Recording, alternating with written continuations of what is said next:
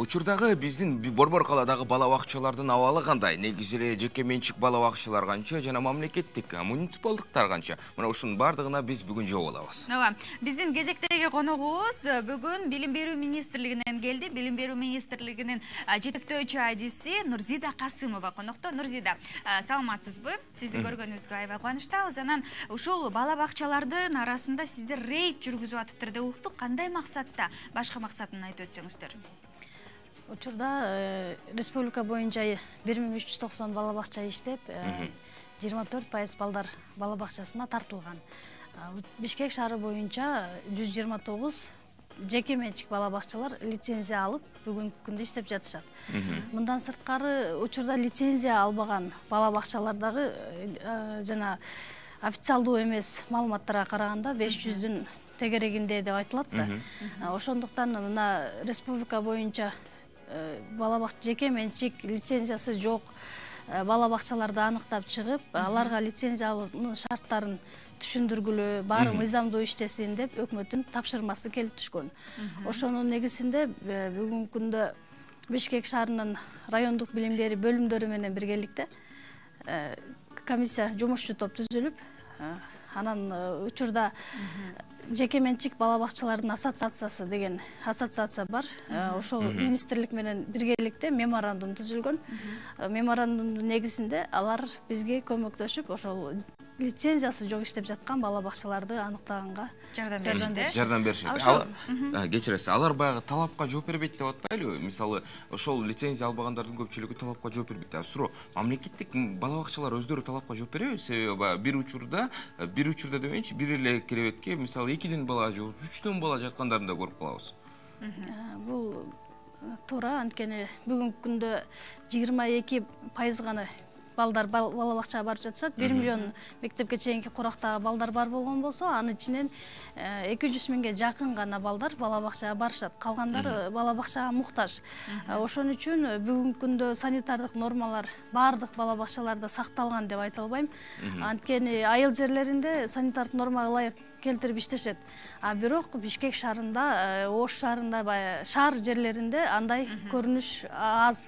Анткени анткени ички миграцияга байланыштуу э, баардык жаш ата энелер иштегени келишип балдарын бала бакчага беришет бүгүнкү күндө бишкекте алтымыш жетимиш сексен бала бир тайпада жайгашкандыгы анык. Ооба. Нурзида айтсаңыз мындай көрүнүш азыр лицензиясы жокторду аныктап аткан бир гана бишкекте болуп атпайбы э рейд жүргүзүлүп атпайбы? Ал эми башка аймактарда региондордо ушундай рейдтерди жүргүзүү ойдо барбы сиздерде?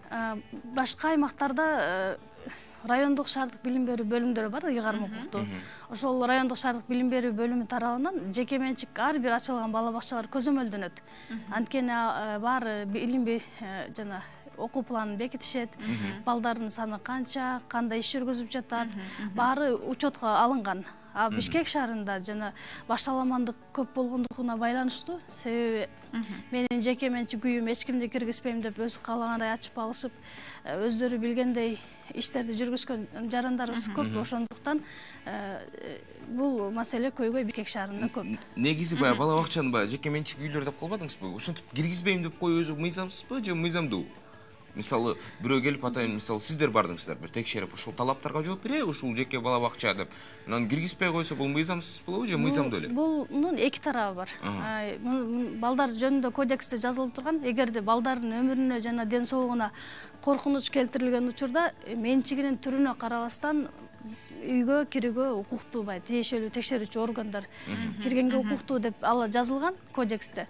Бирок э, Э, жана жеке менчик мыйзамы да бар да. Жеке менчик мыйзамына ылайык э, ар бир адам өзүнүн жеке менчигине ээ алар кол тийбес өздөрүнүн укугу деп кээ бир учурда киргизбеген учурлар бар. Болот э демек? Болот. Э, кезек боюнча ушул электрондук ооба электрондук кезек боюнча дагы сурайын дегенибиз. Мындай электрондук кезек э, кезекке жеткенден кийин кантay бир фондко дагы беш миңден баштап сегиз миңге чейинки э, суммадагы фондко чогултуу деген маселелер каралып атыптыр ал тууралуу да айтып өтсөңүз. Биз э, буга чейин ушул коррупциянын алдын алуу максатында ба- бала бакчаларга электрондук кезек системасын киргенбиз киргизгенбиз себеби буга чейин бир нече ирет э, акча талап кылышты он миң сурады беш миң сурады деп ата энелер бизге кайра кайра кайрылган үчүн ушул электрондук кезек системасы киргизилди бирок э, э, бүгүнкү күндө ата энелердин дагы маалыматынын аздыгынан болуп жатат анткени электрондук кезек системасы аркылуу кирген бала бул очередке кезекке туруп кирди эч кандай э, вступительный взнос деген сөз болбош керек да кезекке туруп киргенден кийин андан кийинки э, жана бала бакчалардын материалдык техникалык базасын чыңдоо максатында колдоо көрсөтөм десе ата энелер ыктыярдуу түрдө көрсөтө алышат мында а ыктыярдуу болгондо мисалы сөз бир сумма бөлүнбөйт да э ал ата эне өзү каалагандай сумма. Өзү каалагандай бирок президенттин указы менен көрсөтүлгөн мында мындай деп жазылган. Эгерде ата энелер шаар жеринде беш жүз кырк төрт сом айыл жеринде үч жүз кырк сом жардам берсе болот деп жазылган да андан ашпаш керек. Андан ашпаш керек. Анан э, эгерде каалоочулар болсо өзү каалагандай берсе болот. Түшүнүктүү эң башкысы биз жооп ала алдык бул баягы мыйза электрондук кезекке тургандан кийин ал жерден акча суроо бул таптакыр мыйзамсыз деп саналат экен э? Мыйзамсыз. анда сөзсүз түрдө тиешелүү органдарга э, дароо кайрыла берсе болот экен болот. Ооба. Сизге болсо өз убагында келип бергениңиз үчүн ыраазычылык билдиребиз Э, ийгилик э, рейд деген э, чындыгында лицензиясы жоктор аныкталып тартипке тартылып эң негизгиси алар дагы лицензиянын алуунун жолдорун үйрөнүп алышсын деген жакшы биздин ишеничибиз бар. Сизге болсо келип бергениңиз үчүн чоң рахмат дагы бир жолу. А биз болсо сиздер менен коштошобуз. Татуу садырбекова өлүшөр анарбек уулу бул таңды биргеликте сиздер менен тоштук күнүңүздөр жалпысынан ийгиликтүү болсун дейбиз. Көрүшкөнчө. Көрүшкөнчө.